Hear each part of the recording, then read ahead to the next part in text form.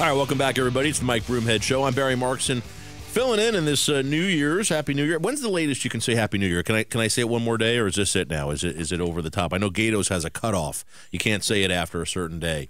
Uh, well, Happy New Year. I don't care what Gatos says. Uh, we're excited to have uh, joining us in studio is uh, uh, Arizona's Attorney General Kris Mayes, and as always, thanks for being here at KTAR. Thanks for having me, Barry. Happy New Year. And there you go. Happy New Year. Well, excited to have you. Uh, you know, you've been in office. Uh, we were just talking for a year, and, and, it's it's been a whirlwind of a year. Um, and I know any anytime you go into a big office like this, and I always remind people, the Attorney General's office, you are the number one the top law enforcement officer in the state of Arizona. That's what that office is. And and there are so many lawyers. It's the largest law firm in the state. That's what that is. You're managing the largest law firm in the state and all the law enforcement component that comes with that. Right. It's criminal, it's civil, it's child protective, it's it's all of those different parts. Um, how many how many attorneys does the Attorney General's office have? So we have a total of um, about a thousand employees, and about half of those are attorneys, maybe Okay. a little bit less. But it, to your point, you're right. We have attorneys, we have a criminal division, we have a civil division, state government division, where we represent all of the state agencies, and we re- we um, uh, represent um, the Department of Child Safety. We represent um, you know kids um, essentially in the in the DCS system. Um, so it's a big job. We also Yeah. have uh, investigators, Barry. So we have a mini police department inside the AG's office, 60 uh, sworn peace officers, law enforcement officers. So yeah, it's a big job. it's It's, an a lot. awesome job. Yeah, you're enjoying it. I love it. All right. I absolutely love it. How could you not love this job? And it's a great state uh, to be doing it in. Well, that's great. Kris Mayes is with us, Arizona's Attorney General. So let me ask you a couple questions. I, I saw recently, uh, and I think we talked about it here on KTR, there was a big uh, settlement with Google for Yep. $700 million. Arizona was a, a plaintiff in that case. Mm-hmm. Uh, what happened and how much money does Arizona get from that settlement? So that was about a $700 million settlement nationwide with Google. And it was an antitrust case that sort of was related to the way that they were monopolizing and handling their advertising. Um, and so uh, we, Arizona, and I think most of the other states, if not all of the other states, were in that case. It was a bipartisan antitrust case. Um, and we won it and uh, won a $700 million settlement. That'll be divvied up between the states. Arizona, you know, I it, it, maybe in the $20 million range. That hope, you know, almost all of that will go back to, to customers. Um, but it, you know, I think it's an example of the kind of case that I am interested in. We have antitrust laws in this country, in the state. Um, they haven't been used very often, Right. frankly, uh, and I'm I'm worried about monopolization and and the way that that concentration of power, corporate power, is impacting consumers negatively. So that's one of the reasons, for instance, that we're taking such a close look at, and will likely oppose the Kroger Albertsons merger. Oh, really? Yeah, and I and and I, you know I'm saying that today, and uh, you know we're we are almost certainly going to oppose that. I'm waiting to see what the FTC does with that, um, and you know if they formally oppose that merger, then we will likely join them in that. But I'm I'm, I'm going to be pretty clear here with you that we're we are going to oppose that. Okay, and that when we say Kroger Albertsons, Kroger in, in Arizona is Fry's. Yeah, so it's So Fry's and Safeway. And, uh, yeah. so Fry's, Safeway, Smith's up in uh, northwestern Arizona. Okay. There's a few Smiths left. Is that right? Yeah, up in Mohave County. And that's something I did. Uh, we went all over the state and did public comment sessions on that, town halls to hear from people in Arizona. And overwhelmingly, Barry, people said, we don't want this merger to Yeah. happen. Overwhelmingly, people Well, I remember when Albertsons merged with Safeway. Yeah. And, and that closed stores. I mean, Albertsons they, they closed stores. It, it was, tough. terrible Yeah. for Arizona. Yeah. Terrible. And they they claimed they weren't going to close stores. They claimed they weren't going to lay people off. And then, you know, within a year, they had essentially done that. Right, because financially, that's what you're going to do. It, it just makes too much sense. Yeah. Kris Mayes is joining us. She's Arizona's Attorney General. Um, and so let, let me ask you this: the I know you're working a lot with. Uh, is it uh, like homes for uh, retired people and, and really some of the abuse and things that, that goes on there? Tell me some Yeah. of what the Attorney General's office is doing. So this is a major priority of mine, which is to combat elder abuse and to to really go after uh, abusive uh, uh, nursing homes and uh, uh, memory care facilities that are not providing the level of care that they must provide under the law or that are allowing abuse to occur. And so we have actually uh, the ability to file criminal charges. But we also have the ability under a statute that's never been used before in Arizona. It's a civil statute to go after these owners okay. of these facilities civilly for millions of dollars. Um, and recently, in the last few weeks, we intervened in a case where we are making the argument that these arbitration clauses that allow for secrecy in uh, litigation, which you know families that have seen their loved ones abused in these facilities, they're being forced into these arbitration clauses. And yeah. as a lawyer, you probably know something about this type of thing. Right.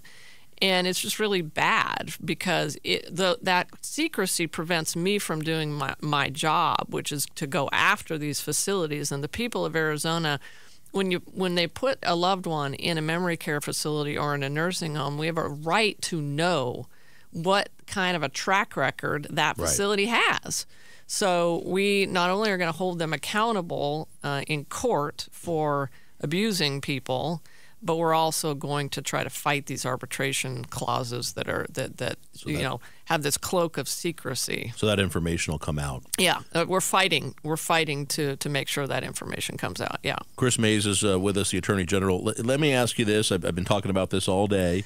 Uh, your office is investigating uh, what I call the fake electors, the the Republicans who sent in uh, a fake elector form as if Trump had won the election in Arizona when he obviously hadn't. Uh, other states have prosecuted their fake electors: Georgia, Michigan, Nevada. There may be another.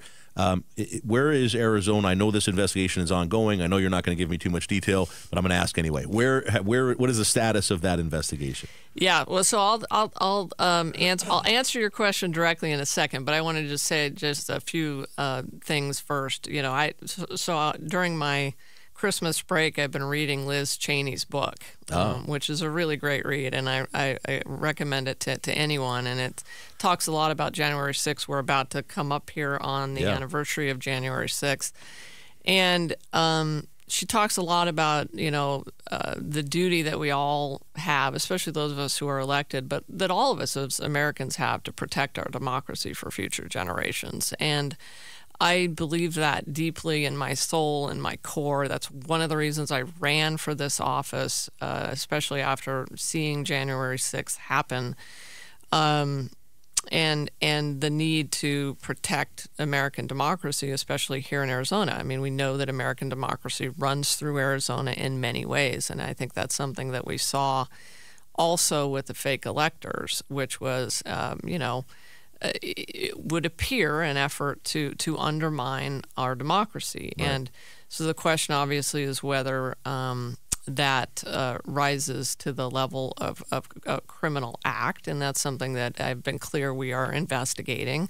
Um, I you know I can't get into too many details about that investigation, but I, I just wanted to say that because I think it's important to yeah. for people to know why we're doing it. Right um, that it's not partisan. Um, and it, it really, for me, is about making sure that this doesn't ever, ever happen again in Arizona. And I know the other AGs that are looking at this feel the same way in their states. All right. So I know uh, Kenneth Chesebro spoke with Nevada and then uh, the prosecutors there, and then shortly after that, we, we saw some criminal charges filed.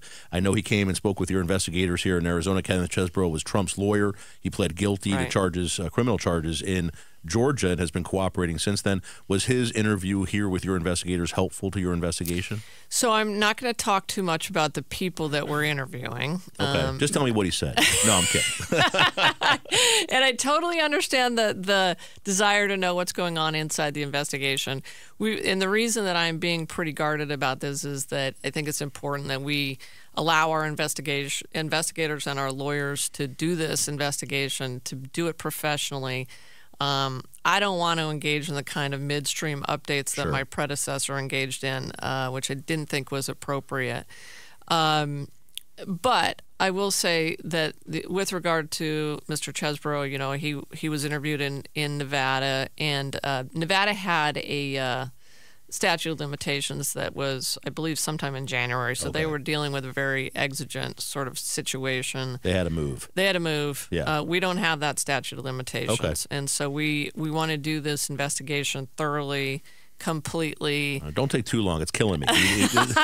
well, no, and it, you can't let things drag No, on as well. So there's there's that that tug and uh, pull of uh, push and pull of you know you want to do things thoroughly professionally, but you also know that you cannot let things drag out. All right, real quick. Uh, Kris Mayes is here, the Attorney General.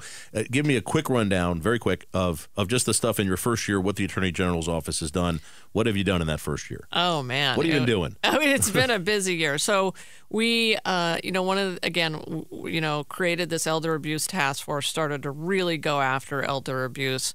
We're attacking uh, the fentanyl crisis on on many levels, uh, including prosecution uh, of, of fentanyl and seizing fentanyl on the streets. We've seized, uh, you know, millions of fentanyl pills in Arizona and are doing uh, most of the, uh, the most of the big drug investigations there, fighting the drug cartels. It's a huge, huge problem in Arizona.